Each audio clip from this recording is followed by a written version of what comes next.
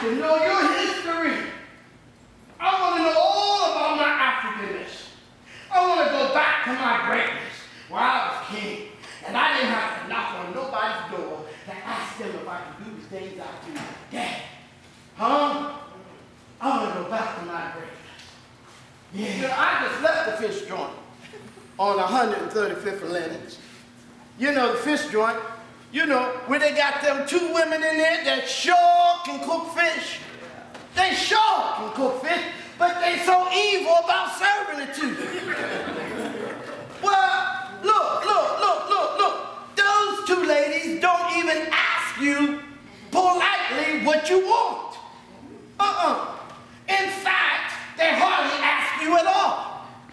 You know, you, you, you know, the one woman, she come up to you, look over the counter.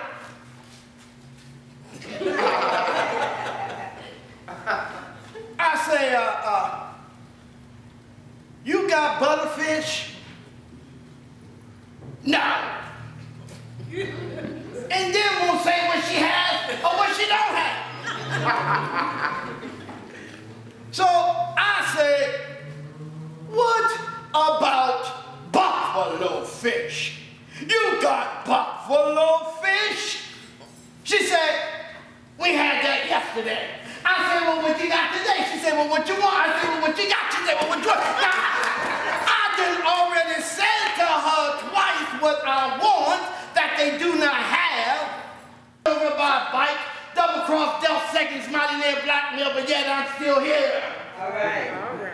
I've been eliminated, insulted, segregated, integrated, locked up, locked in, locked out, left holding the bag, denied welfare, caught in the rain, caught in jail, caught short with my rent, even caught with the wrong woman. Underpaid, underfed, everything but undernourished, laid off and not rehired. I've had, had, had arthritis, bronchitis, a attack, a stroke.